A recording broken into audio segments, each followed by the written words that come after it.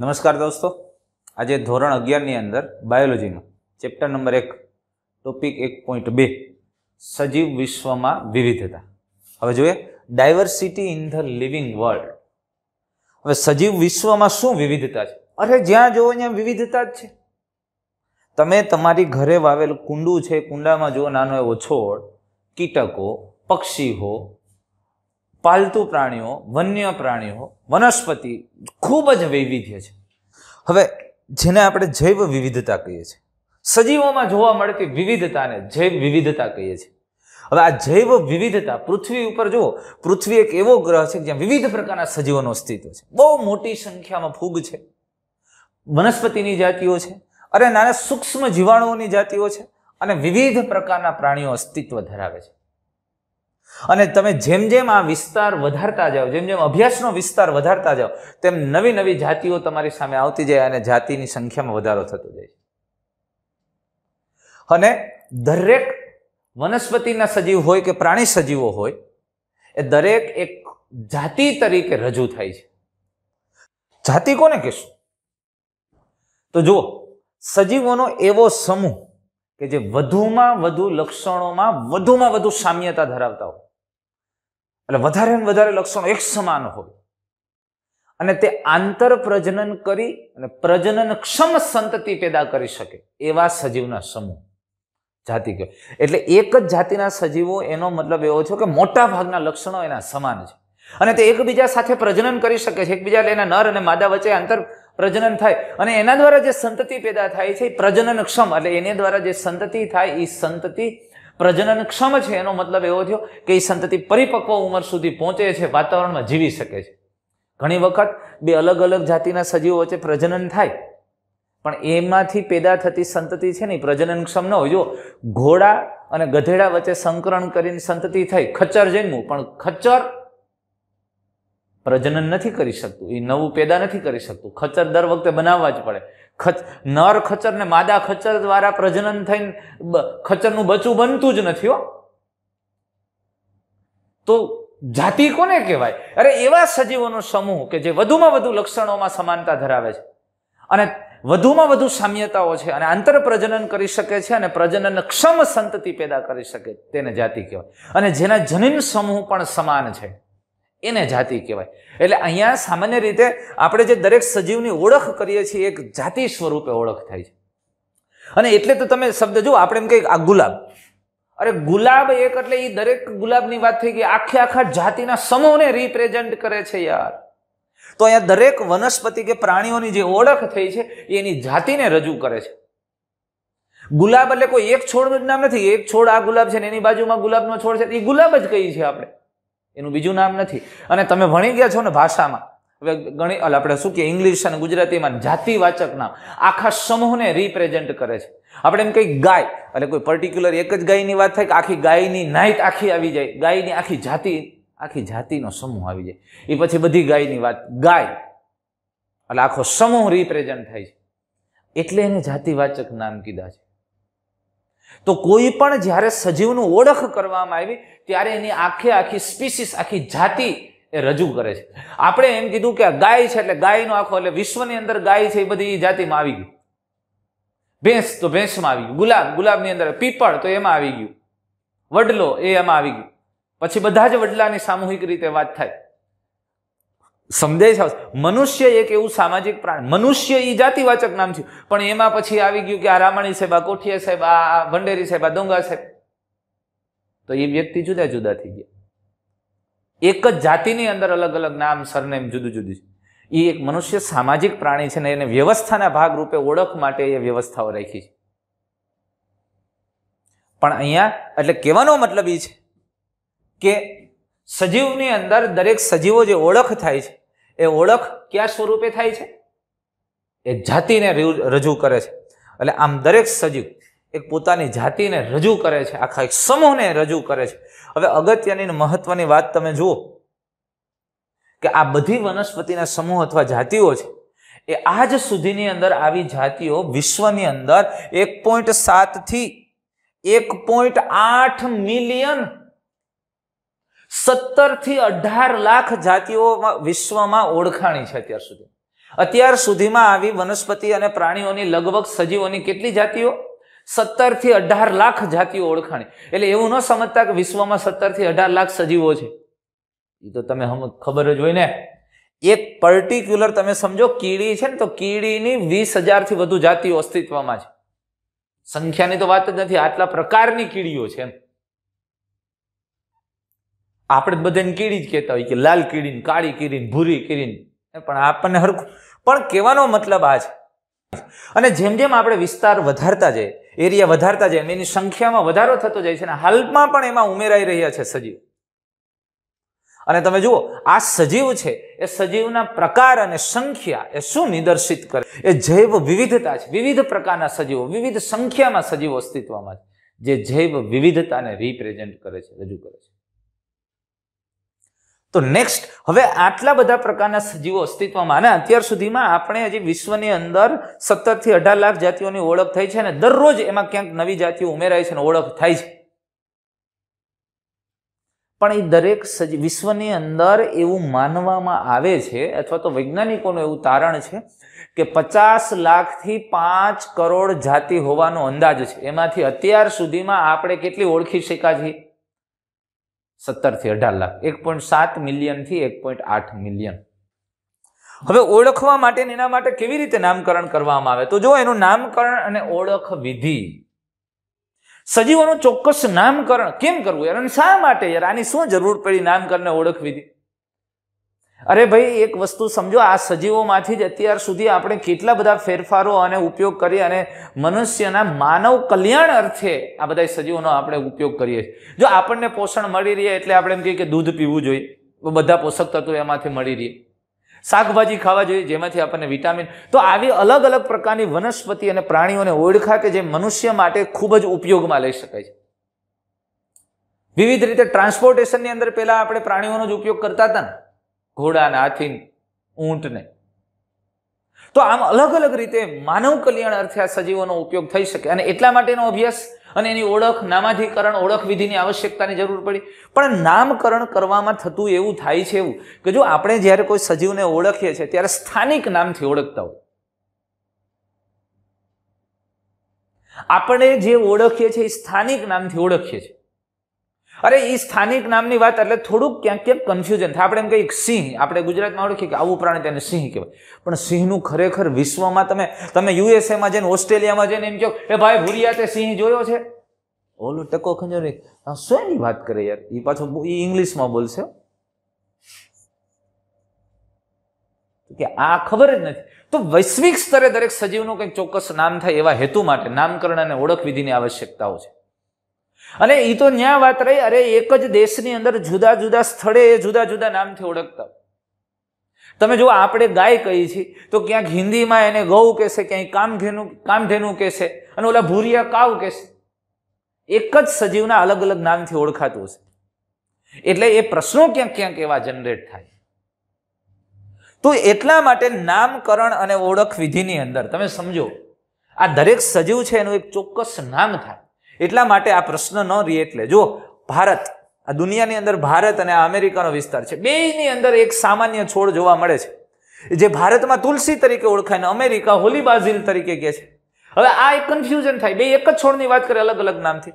તો સમગ્ર વિશ્વની અંદર આવી રીતે જો એ આ દરેક આવા સજીવનું એક ચોક્કસ નામ હોય, એક જ નામ હોય, અને આવું નામકરણ કરવામાં આવે, જે નામકરણ ચોક્કસ નિયમોને આધીન કરવામાં આવે તો આ પદ્ધતિને નામાધિકરણ કહેવાય. જેના વિશ્વ સ્તરે સજીવનું એક જ નામ હોય. તો એને નામાધિકરણ કહેવાય. પણ જેનું નામાધિકરણ થાય ને નામાધિકરણ તો જ શક્ય છે કે જો તે સજીવનું એમાં સચોટ વર્ણન કરેલું હોય. એટલે એનું પેલા સંપૂર્ણ ઓળખ થયા પછી, એટલે એટલે કે નામાધિકરણ તો કરી નહીં હાલો આ છોડ છે એ છોડને ઓસિમમ ટેન્યુફ્લોરમ કહેવાય. ઓસિમમ ટેન્યુફ્લોરમ હું આપણે હવે અત્યારે જ આપણને કાંઈ ખબર નથી. અને ઓસિમમ ટેન્યુફ્લોરમ છે એ તમારે ખાવું જોઈએ. એ એનો થોડોક તમે ઉકાળો કરીને પીવો તો તમને આ શરદી ન થાય, વાયરલ ઇન્ફેક્શન ન થાય. હવે આપણે ટકો જ ખંજોરીએ કે નહીં? કે ઓસિમમ ટેન્યુફ્લોરમ શું હશે? આ શું મળ્યું?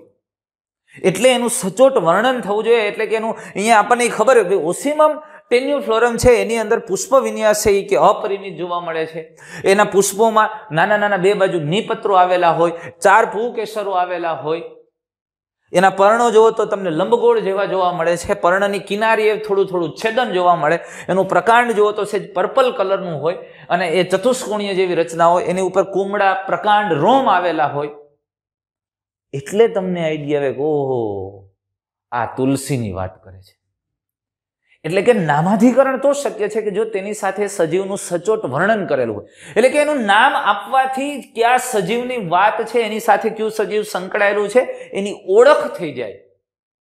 તો આ પ્રક્રિયાને ઓળખ વિધિ કહેવાય. એટલે એનું સચોટ વર્ણન કરી, એની ઓળખાણ આપીને નામકરણ કરેલું હોય. તો એટલે નામાધિકરણ તો જ સંભવ બને તો જ શક્ય બને ને, એટલે એ પેલા સજીવની સંપૂર્ણપણે લાક્ષણિકતાઓનું વર્ણન હોય. એટલે કે એની ઓળખ વિધિ થયેલી હોય. અને તો આપણને ખબર પડે કે આની સાથે આ સંકળાયેલું. હું એમ વાત કરું કે ભાઈ, પેન્થેરા લિયો એટલે એ તો ખતરનાક પ્રાણી છે એની બાજુમાં ન જવાય. તમે કયો આ શેની વાત કરે છે આ પેન્થેરા લિયો? પણ એમ ખબર હોય કે પેન્થેરા લિયો છે એના નર પ્રાણીને મોટી કેસવાલી હોય. ગીરના જંગલમાં જોવા મળે છે. તો તમે સમજી જાઓ કે આ જંગલના રાજાની વાત કરે છે, સિંહની વાત છે. સમજાય? સચોટ વર્ણન છે.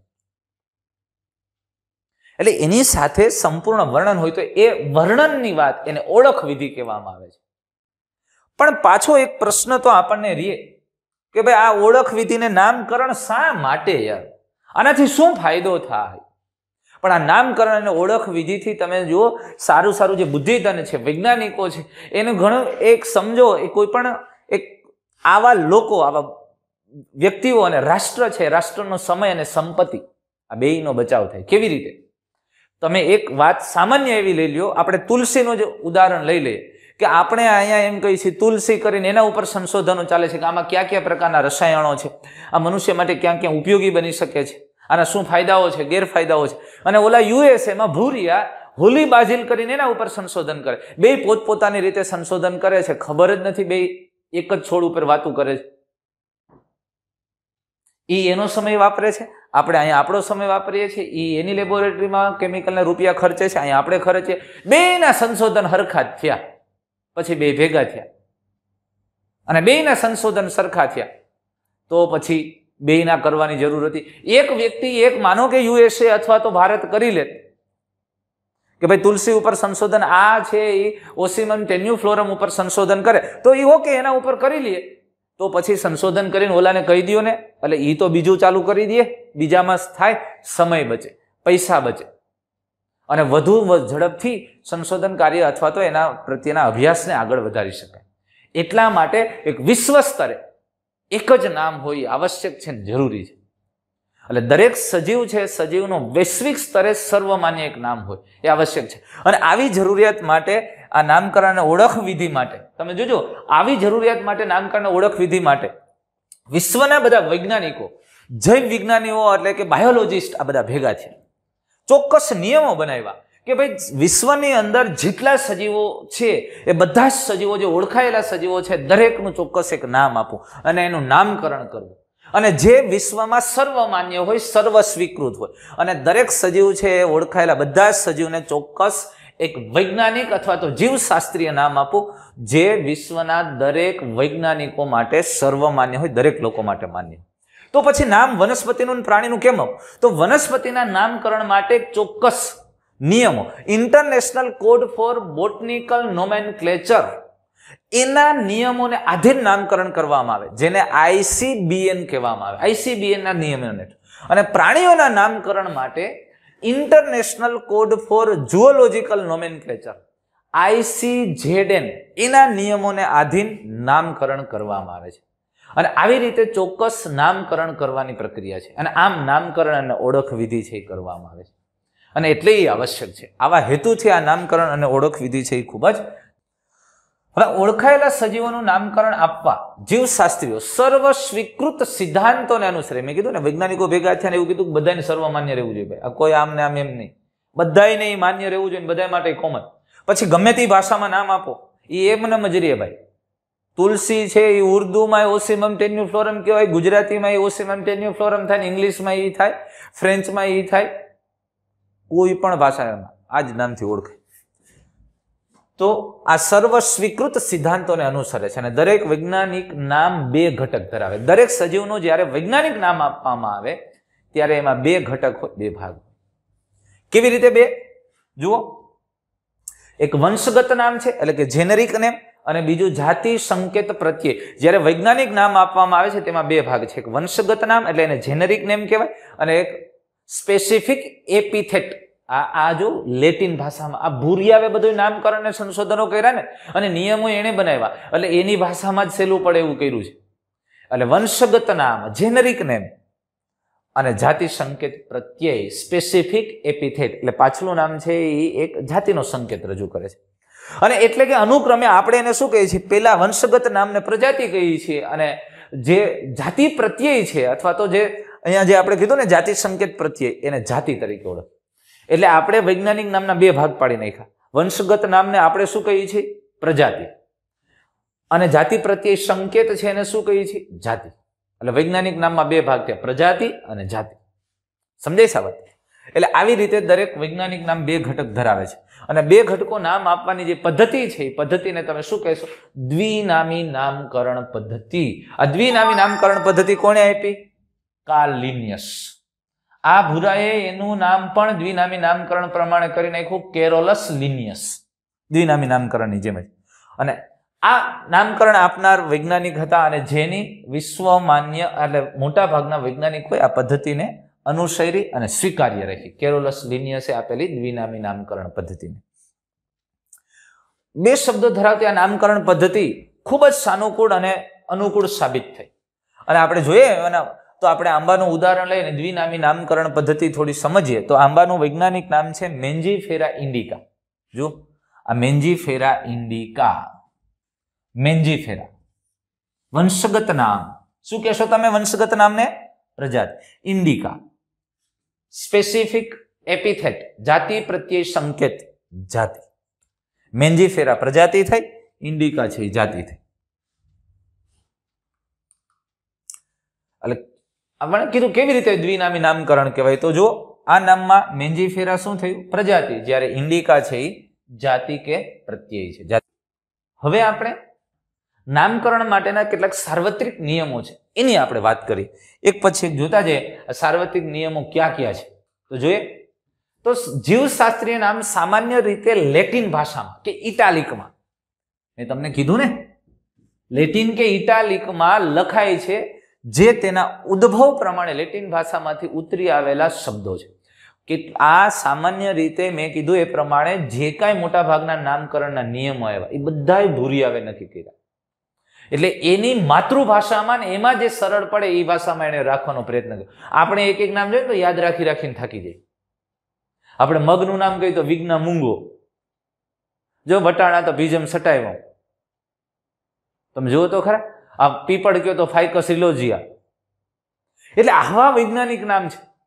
એટલે આપણે તો બધા યાદ રાખી રાખીને લાંબા થઈ જાય અને એમને પોતાની માતૃભાષામાં, લેટિન કે ઇટાલિકમાં મોટે ભાગે લખાય છે. અને એમાંથી ઉતરી આવે છે એવું રજૂ કરવા માટે આવું રાખ્યું. ત્યાર પછી જો જીવશાસ્ત્રીય નામની અંદર, એટલે કે જે વૈજ્ઞાનિક નામ છે અથવા જીવશાસ્ત્રીય નામ છે, એમાં પ્રથમ શબ્દ છે એ કોનો હોવો જોઈએ? પ્રજાતિ, જીનેરા, જીનસ. અને બીજો શબ્દ અથવા તો પ્રત્યે એ કેનો હોવો જોઈએ? જાતિ. એટલે વૈજ્ઞાનિક નામમાં બે ઘટક પહેલું નામ પ્રજાતિ અને બીજું નામ જાતિનું હોવું જોઈએ. આ બંને શબ્દો જો હસ્તલેખિત હોય, તમે હાથેથી લખો છો, તો નીચે આટી લીટી કરવી અથવા અંડરલાઈન કરવી. દાખલા તરીકે તમે આમ લખો છો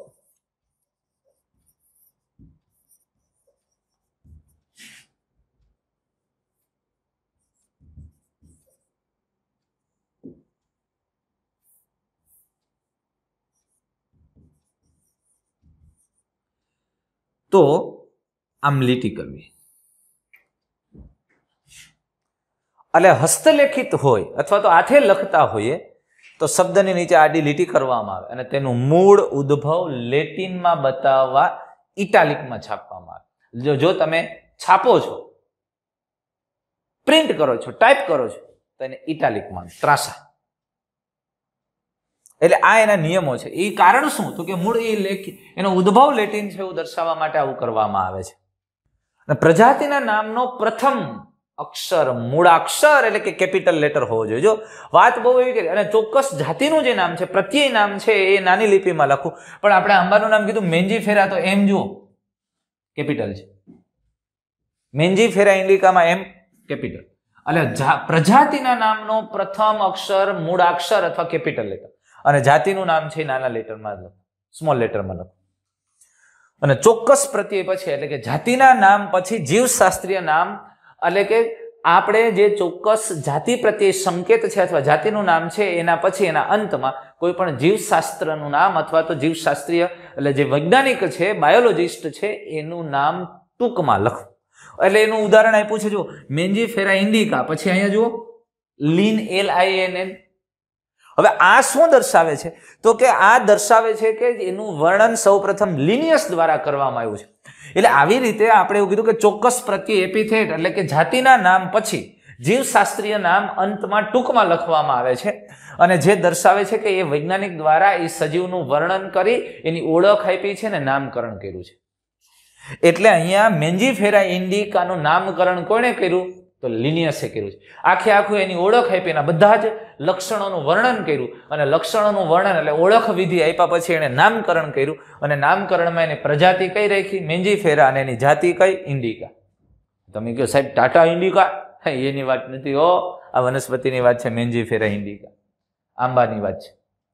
તો આવી રીતે કોઈ પણ વૈજ્ઞાનિક નામની પાછળ શોર્ટમાં નામ લખેલું હોય, તો એ વૈજ્ઞાનિકનું નામ છે, બાયોલોજિસ્ટનું નામ છે, જીવશાસ્ત્રીયનું નામ છે. ક્લિયર આટલું? સમજાણું? એકવાર ફટાફટ આપણે ફરી બધા બધા નિયમો જોઈ જઈએ તો કોઈ પણ જે વૈજ્ઞાનિક નામ આપવાનું છે સજીવનું, એમાં બે નામ આપવા, પ્રથમ નામ પ્રજાતિનું અને બીજું નામ જાતિનું. પ્રજાતિના નામનો પ્રથમ અક્ષર છે મૂળાક્ષર અથવા તો કેપિટલ લેટરમાં લખો અને બીજું નામ જાતિનું છે એ આખું જ નાનું લખો. જો આ નામ લખીએ છીએ હસ્તલેખિત હોય તો નીચે લીટી કરવી અથવા આડી લીટી કરવી અને જો છાપવામાં આવે તો ઇટાલિકમાં છાપવું જે મૂળ ઉદ્ભવ છે લેટિન દર્શાવવા માટે. અને આખા નામ પછી, એટલે કે જાતિના નામ પછી, જે તે જીવશાસ્ત્રી અથવા વૈજ્ઞાનિકનું નામ ટૂંકમાં લખવું. જે દર્શાવે છે કે આ વૈજ્ઞાનિક દ્વારા તે વનસ્પતિનું નામકરણ અને ઓળખ વિધિ કરવામાં આવેલ છે. તો હવે દોસ્તો, નેક્સ્ટ વિડીયોની અંદર આપણે વર્ગીકરણ અને વર્ગીકરણ માટેની કેટલીક બાબતો. જો એકદમ સમજવા જેવા ટોપિક છે, ખૂબ ડેપ્થ પકડવી પડે અને ઇમેજિનેશન તમારા મગજમાં થવું જોઈએ. સાથે સાથે કલ્પના તમે કરવા જોઈએ. અને આપણે જંગલની વાત કરીએ તો જંગલમાં ઘૂસી જવા જોઈએ તમે. અને તો બહુ મજા આવશે આ ટોપિક ભણવાની. તો વર્ગીકરણ અને વર્ગીકરણ સંબંધિત કેટલીક બાબતો. અને એને લગતી માહિતી છે એ આપણે નેક્સ્ટ વિડીયોમાં જોશું. Thank you